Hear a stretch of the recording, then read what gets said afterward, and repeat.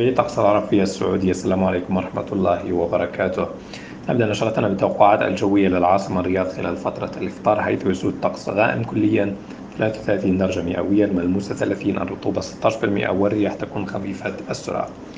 ننتقل الآن تفاصيل الحالة الجوية المتوقعة لباقي مناطق المملكة للنهار اليوم. سكاكا زخات عديد من الأمطار 40 إلى 27 عرعر 39 إلى 26 مع طقس مغبر أما تبوك زخات العديد من الأمطار 38 إلى 22 المنطقة الغربية مدينة جدة طقس غائم جزئي 41 إلى 31 المدينة المنورة 42 إلى 28 مكة المكرمة 40 إلى 31 الطائف 28 إلى 21 المنطقة الجنوبية الغربية زخات العديد من الأمطار فيكم من أبها والباحة. أبها تسجل 28 إلى 16 الباحة 26 إلى 18 جازان 36 إلى 33 المنطقة الشرقية الإحساء 43 إلى 25 الدمام 40 إلى 25 وحفر الباطن 42 إلى 28 المنطقة الوسطى زخات العديد من الأمطار فيكم من حائل وبريدة بريدة تسجل 40 إلى 24 حائل 38 إلى 23 أما العاصمة الرياض 41 إلى 28 إلى اللقاء.